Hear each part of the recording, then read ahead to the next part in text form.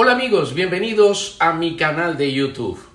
Goleada de Millonarios como visitante 4 por 1 al Cortuluá en un partido que no tuvo nada que ver con lo que se vio en el trámite del juego dentro de la cancha. Y vamos a comentarlo con OneFootball. Es la aplicación para futboleros. Ustedes saben que con OneFootball tienen toda la información del fútbol colombiano y de fútbol mundial al instante en un teléfono celular, en su computador, sin ninguna dificultad. En OneFootball, que es el patrocinador de la Serie A en el fútbol europeo, el fútbol italiano, ustedes encontrarán las noticias al instante. Las últimas siempre en OneFootball. Los partidos con sus alineaciones primero y las estadísticas. Yo las estadísticas hoy del juego Millonarios Cortuluá las saqué de OneFootball y se pueden entretener y divertir con el fútbol en OneFootball. Aquí les dejo el link de descarga. Ganó Millonarios 4 por 1 al Cortuluá. El primero de la tabla a uno de los últimos. Además al primero en descenso, es decir, el equipo de peor promedio en el fútbol colombiano. Y aunque le ganó largo y le ganó cómodo, 4-1 es un resultado contundente, lo hizo por eso, por su contundencia. Pero en el trámite del partido, el Cortuluá fue superior en muchos pasajes del juego. Los primeros 20 minutos, cuando el resultado iba 1-1, empezó ganando Millonarios con un golazo de Daniel Ruiz, una pelota que toma de primera con pierna izquierda, pelota cambiada desde la derecha a los 11 segundos del partido. Parecía que Millonarios se montaba desde muy temprano en el juego, pero en una rápida reacción, el Cortuluá, en una acción de Julián Millán, que alcanza a rozar en Luis Carlos Ruiz y en Vargas, empata el partido. Y siguió jugando bien Cortuluá, dominando la pelota en el medio, siendo superior con el balón a su rival y presionándolo en la salida. Además le ganaba el sector medio por la zona derecha, donde García, que reemplazó a Pereira, que tuvo descanso, y el jugador Alba no controlaban la posibilidad del cuadro. Cortuluá que tuvo en Castillo Manjoma el mejor hombre en la primera parte del compromiso. Y cuando jugaba mejor el Cortuluá, llegó el segundo de Millonarios, que tenía problemas, que no era claro, que perdía fácil la pelota y que no controlaba el balón a pesar de tener los volantes que tenía. A los 19, gol de Luis Carlos Ruiz, en un tiro de esquina, cabezazo de Larry Vázquez y por detrás del defensor, casi en la línea, acomoda la pelota en el fondo de la red para el 2 por 1. Así termina la primera parte, pero termina con posibilidades claras del Cortuluá. Tuvo los 22 minutos rojas en un doble cabezazo, un balón en el palo, se salvó Millonarios. Y a los 45 más 1, Manjoma, en una pelota que soltó Montero y que no pudo rectificar en un siguiente manotazo, desperdició también la posibilidad del empate. Ganaba Millonarios, pero no era superior al Cortuluá. Y en el periodo complementario, tampoco lo fue en los primeros 25 minutos.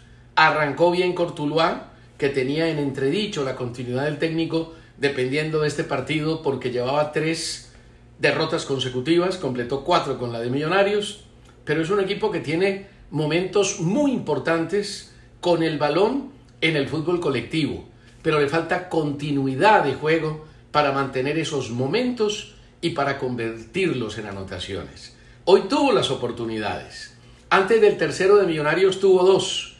Una al minuto 54 en una pelota donde Manjoma solito no le dio ante un centro de Guisao desde la derecha y la otra a los 67 minutos en una pelota de Mejía que acababa de entrar, recibió un centro de Valencia que acababa de entrar también, le quedó un poquitico retrasada, le puso el pie, la pelota iba para adentro y pegó en el palo se salvó Millonarios, ganaba 2-1.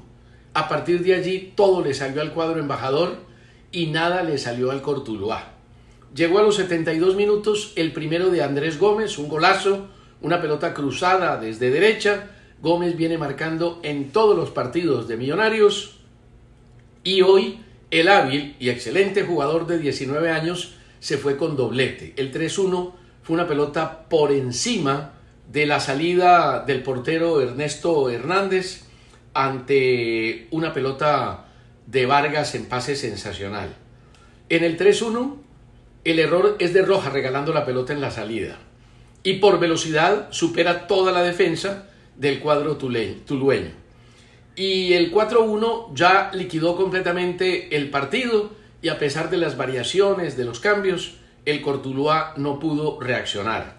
En Millonarios, importante el ingreso a los 60 minutos de Cataño por McAllister, que no estuvo fino, y el de Victoria, un pelado de 21 años, que hacía su sexta presentación por García, que no tuvo un buen partido, y mostró cosas interesantes. Victoria se ve que va bien en el juego aéreo y que es atrevido poniendo la pelota desde atrás. Hoy Daniel Ruiz, que es uno de los puntales de Millonarios, no estuvo fino en el control de la pelota, se le fueron muchas largas y en el medio Millonarios dio ventajas que no pudo capitalizar el cuadro Cortuluá. Un partido que termina siendo cómodo para el cuadro embajador, que si uno mira lo que hizo el Cortuluá, hizo mucho más para marcar un gol y perder por uno por cuatro, pero el fútbol no responde a ese tipo de merecimientos y por eso Millonarios se llevó el 4 por 1.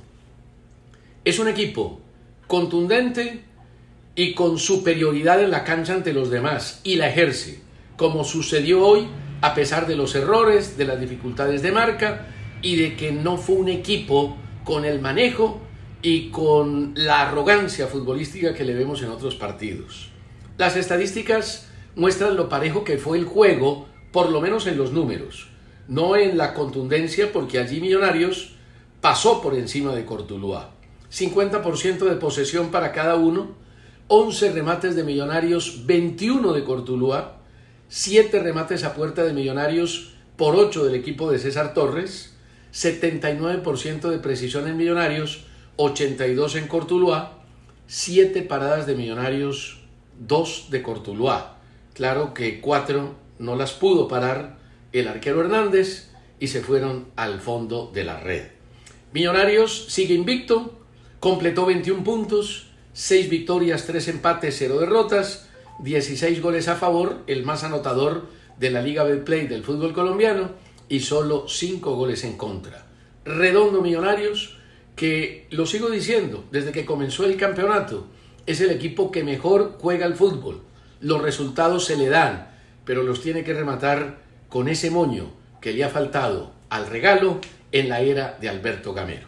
A todos gracias por eh, escucharme, por estar aquí en mi canal de YouTube. No olviden suscribirse, disfruten y muchas felicidades para todos. Chao.